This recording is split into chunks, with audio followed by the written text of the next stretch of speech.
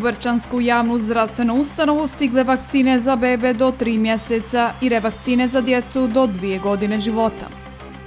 Brčanska bolnica dobila donaciju 12 bolesničkih kreveta. Brčanski garantni fond u 2016. godini udovoljio svim zahtjevima za obezbeđivanje poslovnih kredita. U studiju je večeras Dejana Krstić. Dobro večer, poštovani gledalci, pratite objektiv. Vakcine za primovakcinaciju djece u trećem mjesecu života te za revakcinaciju djece u drugoj godini života stigle su prostorije javne zdravstvene ustanove Zdravstveni centar Brčko. Pristigle količine petovalentne vakcine su dovoljne, kažu u pododjeljenju za javno zdravstvo, te pozivaju roditelje koji su čekali na vakcinaciju djece da zakažu termine kako bi se izbjegle gužve i čekanje.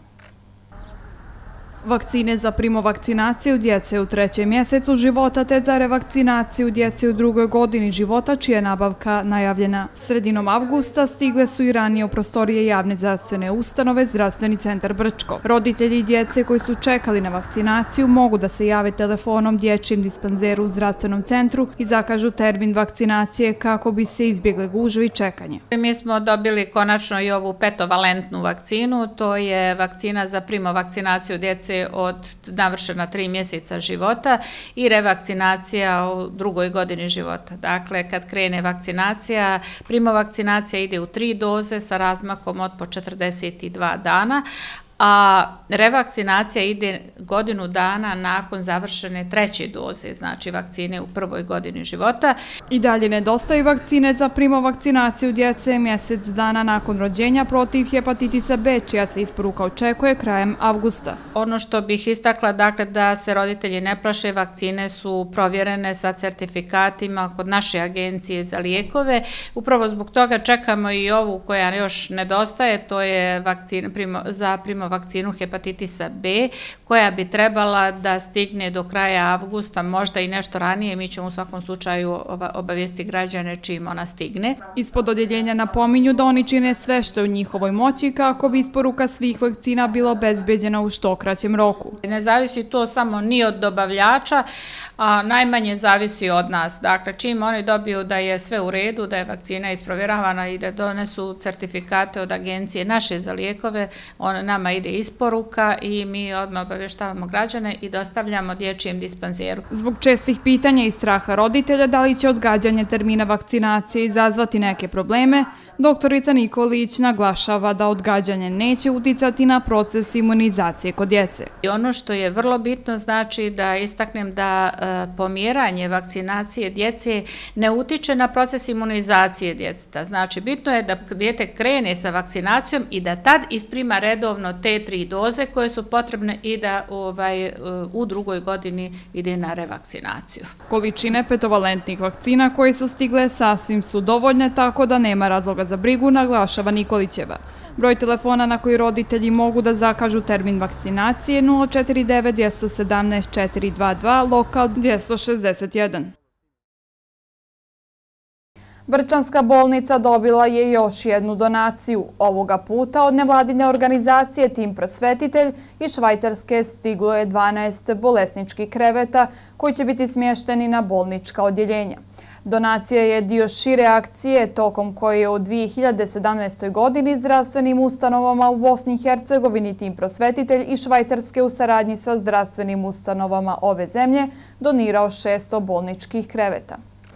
Ovo je donacija koja je stigla u Brčansku bolnicu. Riječ je o 12 bolesničkih kreveta koji su u Brčko stigli zahvaljujući saradnji nevladine organizacije Tim Prosvjetitelj iz Švajcarske sa švajcarskim zdravstvom.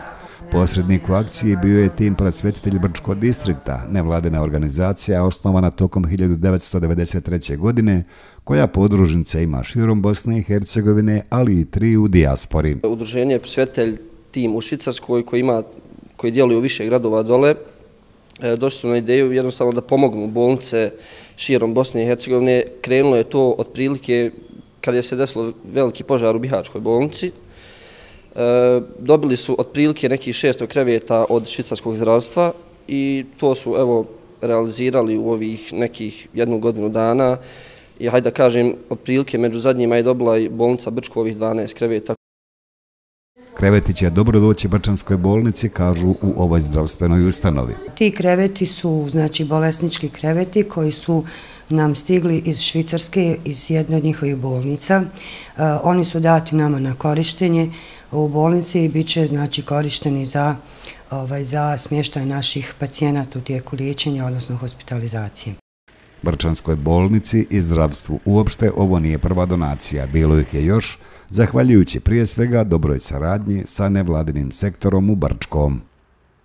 Razvojno-garantni fond Brčko distrikta u prošloj godini u najvećoj mjeri je ostvario predpostavljene ciljeve zbog kojih je i osnovan, istaknuto je u izvještaju o njegovom radu za posmatrani period.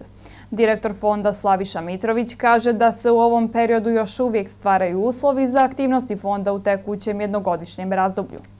Razvojno-garantni fond Brčkog distrikta preduzetništvo ove lokalne zajednice smatra veoma značajnom institucijom, jer je od 2003. godine, od kada postoji, sa ukupno više od 15 miliona konvertibilnih maraka za pokrivanje polovine garancija za kredite koje traže banke, uspješno obavio svoju obavezu. Slaviša Mitrović, direktor Razvojno-garantnog fonda u Brčkom, naglašava da uvezivanje korišćenja garancija sa subvencijom kamata, zašto sredstva daje lokalna vlada, polučuje cijelovi učinkovit sistem podobnosti koji je svih ovih godina davao dobre rezultate u kontinuitetu. Uglavnom se s banke šalju zahtjeve za garancije e, koje su firme mlade, e, otprilike zna se desiti u zadnje vrijeme e, za samo zapošljavanje. Određeni broj firmi ima kojima treba pomoć u vidu garancije i tu i za sad sve dobro funkcioniše, otplatna ured, redovna otplata, nemamo određeni ogromni problema. Mitrović kaže da je obuhvat mogućnosti za korišćenje garancija koje vlada Brčkog distrikta preko institucije garantnog fonda daje na poslovne kredite veoma širok, s tim što se uredno poslovanje prije svega sa stanovišta obaveza i poštivanja propisa kao uslov ne može zaobići. Sva pravna lica koja su registrovana na području Brčkog distrikta, e, koja imaju da su likvidna, znači da, da, da su sposobna da otplaćuju svoja kreditna zadrženja, da nisu prezadužena. Garancija fonda od izuzetnog su značaja za poslovanje velikog broja malih i srednjih preduzeća te samostalnih preduzetnika i registrovanih poljoprivrednih domaćinstava, jer omogućavaju prodor na tržište finansijskog kapitala i obezbeđivanje neophodnih novčanih sredstava, što inače ne bi bilo moguće. Pogotovo što su u koordinaciji sa subvencijom kamatnih obaveza u pitanju veoma povoljni finansijski aranžmani. Mislim da je ogromna korist, pogotovo za mlade firme koje su tek osnovane. U današnje vrijeme teško je imati garanciju i naći sudužnika. Tu je garantni fond, znači vlada Brčkog distrikta koja ovaj, garantuje na 50% kredita. Sad, za sad dobro ide Posebno korisnim smatra se to što garancije za kredite i subvencije kamata koriste i registrovana poljoprivredna domaćinstva. Postoji revolving kredit u odeljenju za poljoprivredu, znači, koji je istaku krajem prošle godine, treba, mislim na kraju ove godine da će se ponovo potpisivati ugovori sa komercijalnim bankama, da će registrovana poljoprivredna gazdinstva moći ponovo da apliciraju u bankama sa kojim mi napravimo ugovore, za nove poljoprivredne kredite koji su izuzetno povoljni, konkretno u Brčkom distriktu, znači gdje je kamata izlazla, izlazla krajnja sa poratom subvencije oko 3%. Društvena korist od efekata koji se postižu ulogom institucije garantnog fonda i subvencionisanjem kamata jesu doprinos privrednom i uopšte poslovnom prosperitetu, prije svega sa stanovišta otvaranja novih radnih mjesta i čuvanja postojećih. U nastavku agencijske vijesti iz Bosne i Hercegovine i regiona. Ministar financija i trezora Bosne i Hercegovine Vjekoslav Bevanda pokrenuo je danas sve potrebne zakonske i tehničke procedure na osnovu koji će biti raspodijeljeno 125 miliona dolara, koje će vlada Ruske federacije uplatiti po osnovu kliničkog duga na račun koji je otvoren u Centralnoj banci Bosne i Hercegovine, saopšteno iz Ministarstva financija BiH. Ministarstvo financija Rusije obavijestilo je Bosnu i Hercegovinu da će danas biti isplaćen ruski klinički dug, potvrđeno je crni u resornom ministarstvu Bosne i Hercegovine. Od 125 miliona 157.834 dolara Brčko distrikt će dobiti 3 od 100 ili 3 miliona 754.735 dolara. Ministar spoljne trgovine i ekonomskih odnosa Bosne i Hercegovine Mirko Šarović rekao je da je danas u nekoliko navrata razgovarao sa hrvatskim ministrom poljoprivrede Tomislavom Tolušićem i naglasio da konačan dogovor oko uvećanih taksa koje je Hrvatska uvela na poljoprivredne proizvode zemalja regiona još nije postignut, ali da su razgovori napredovali. On je dodao da će do kraja dana razgovori biti nastavljeni i da je neriješeno ostalo ključno pitanje do kojeg nivoa će takse biti smanjene. Razgovori Šarović Đukanovića i Tolušića usledili su nakon jučerašnjeg ultimatuma koji su Hrvatskoj uputili ministri zemalja regiona. Resorni ministri iz Bosne i Hercegovine, Srbije, Makedonije i Crne Gore od Zagreba su zatražili da revidira pravilnik o inspekcijskom nadzoru i kontroli usklađenosti voća i povrća s tržišnjim standardima u Republici Hrvatskoj, na osnovu koga su takse povećane za 20 puta. Iz Ministarstva poljoprivrede Hrvatske odgovorili su da se novi pravilnik odnosi na sve treće zemlje i da nije usvojen s ciljem diskriminacije roba poreklom iz država regiona regiona. Oglasila se Evropska komisija apelom da se zemlje regiona uzdrže od isitrenih reakcija i spriječe eskalaciju koja može izazvati trgovinski rat. Vlada Republike Srpske zaključila je danas da će poljoprivrednicima do kraja avgusta biti uplaćeno 11 miliona konvertibilnih maraka zbog ogromne štete od suše, iako će tačna procena po pojedinačnim kulturama biti poznata u narednom periodu. Predsjednik vlade Srpske Željka Cijanović navele da će time biti realizovano više od 50 od godišnjeg agrarnog budžeta s obzirom na to da je do sada isplaćeno 20 miliona konvertibilnih maraka kao i sve obaveze iz 2016. godine.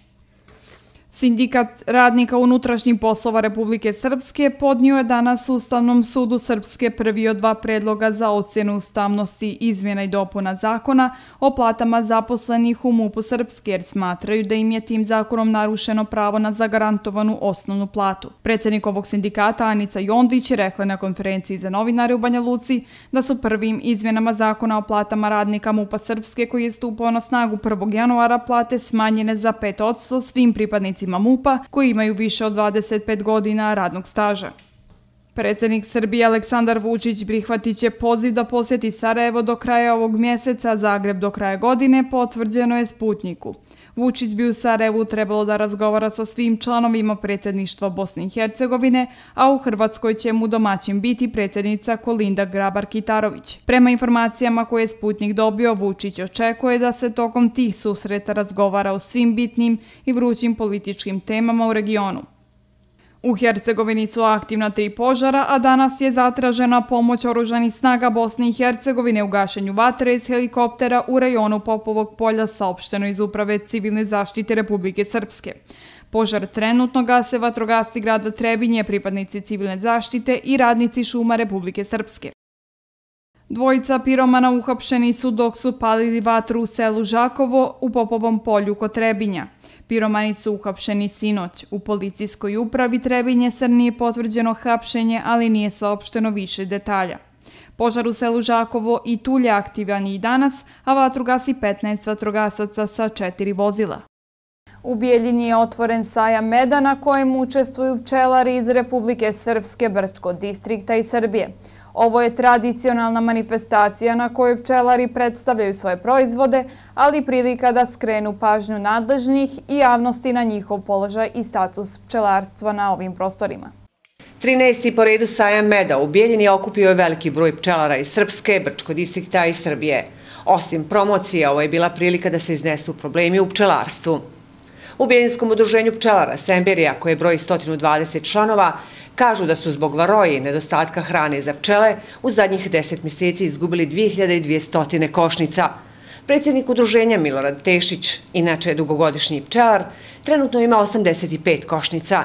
On ističe da je ova godina šarolika, kada su prinosi u pitanju. Na nekim područjima je bilo daleko više meda nego prošle godine, dok na drugim uopšte nije bilo vrcanja. Tu je bilo ove godine nešto bolje nego prošle godine. Znači, bilo je nešto i bagrama, bilo je i lipi i to sve kad se sabire, to je negdje Znači jedna i druga paša negdje oko 13 do 15 kg je izlazilo po košnici. Dok prošle godine je bilo negdje oko 4,5 do 5 kg. Znači daleko bolje. Dok na nekim područjima nije bilo nikako meda. Nije kiša ovaj, dosta tu oštetila. Prinosom nije zadovoljan ni Dalibor Lučić, pčelar iz Šamca, koji ima preko stotinu košnica. On kaže da su za sve krive vremenske prilike koje iz godine u godinu otežavaju razvoj pčela. Međutim, Lučić nije zadovoljan i posticajima za pčelarstvo. Što se tiče posticaja, to je kao bolje umor. Mnogo je mnogo bolje u odnosu kako se dobija distrikt Brčku, koliko on dobija po košnici, u nas je to stvarno mizerno. Učesnik sajma je Neboj Šandrić iz Petrova kod Karanovca, pčelar koji u vlasništvu ima oko 300 košnica i 500 oplodnjaka za proizvodnju matica. Ni on nije zadovoljan prinosom od 7-8 kg po košnici. Osim toga, Andrić kaže da su im i posticaj skromni.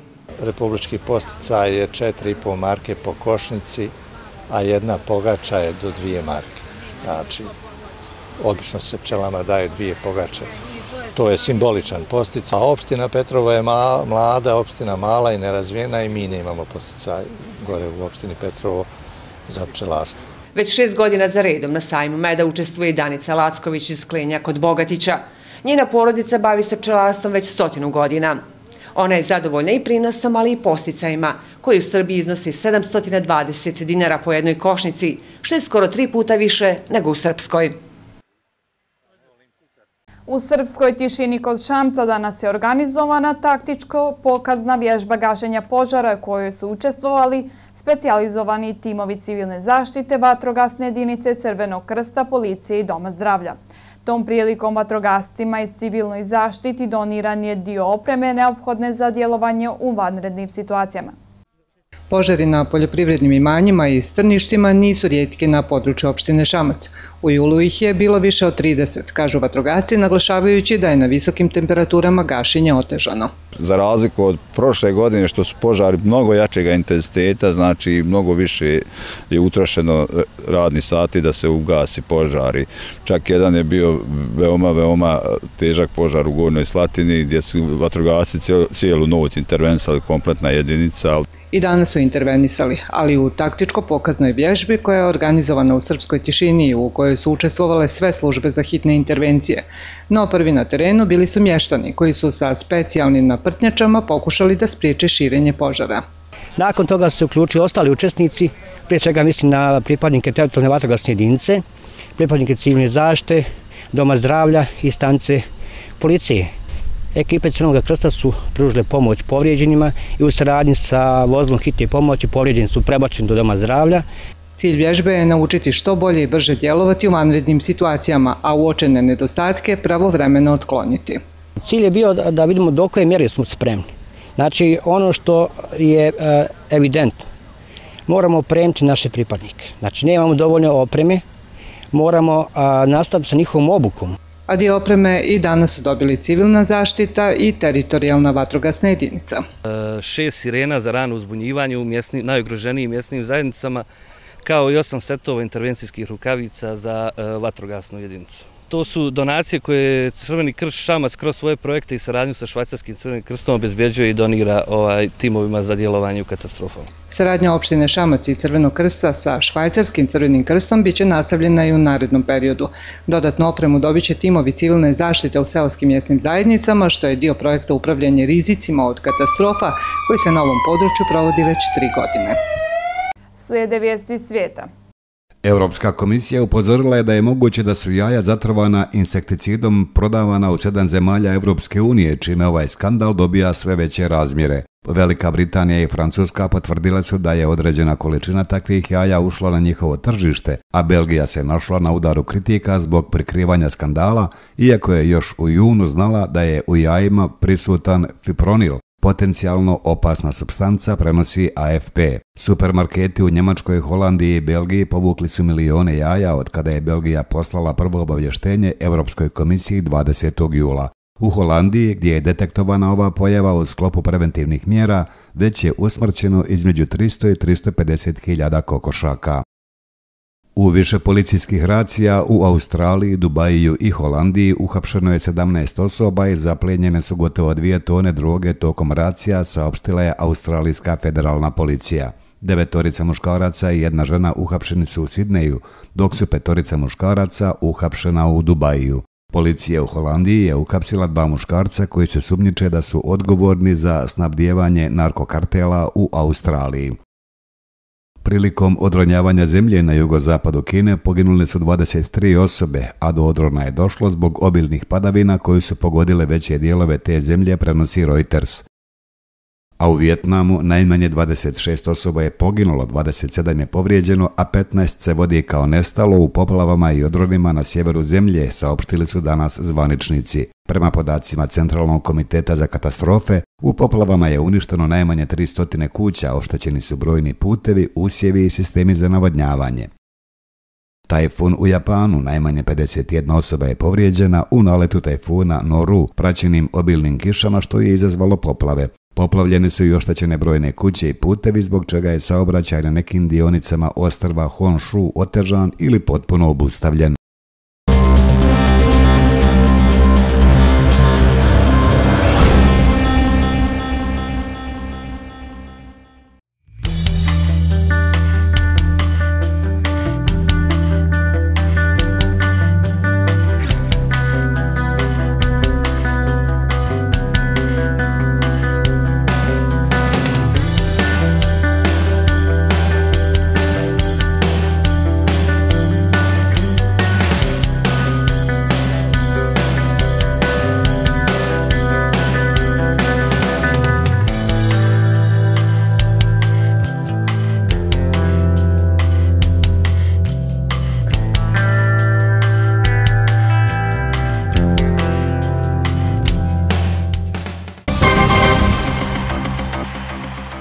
Brčansku javnu zdravstvenu ustanovu stigle vakcine za bebe do 3 mjeseca i revakcine za djecu do 2 godine života.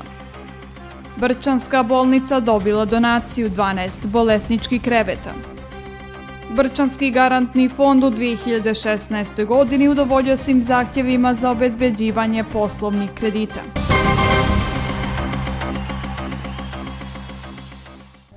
Poštovani gledalci, pratili ste objektiv. Hvala na pažnji i prijatno.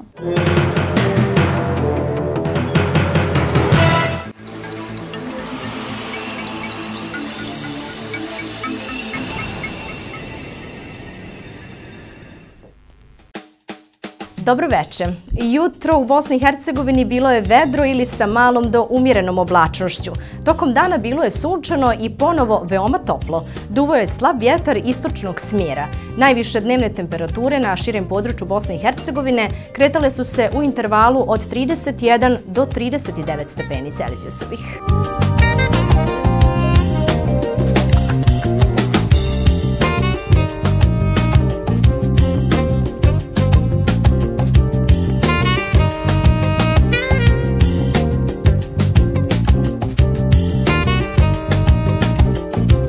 Sutra u Bosni i Hercegovini ujutru sunčano i lokalno oko rijeka prolazna magla ili niska oblačnost. Tokom dana sunčano i ponovo vruće. Jutarnja temperatura od 13 do 18, najviše dnevne između 35 i 40 stepeni. Naročito opre se savjetuje srčanim bolesnicima i astmatičarima. Moguće su glavobolja i malaksalost. Savjetuje se umjerena doza fizičke aktivnosti i primjena adekvatne zaštite od UV zračenja. U saobraćaju je neophodna dodatna pažnja. Pratili ste vremensku prognozu. Hvala na pažnji, ostanite i dalje uz program Hit televizije.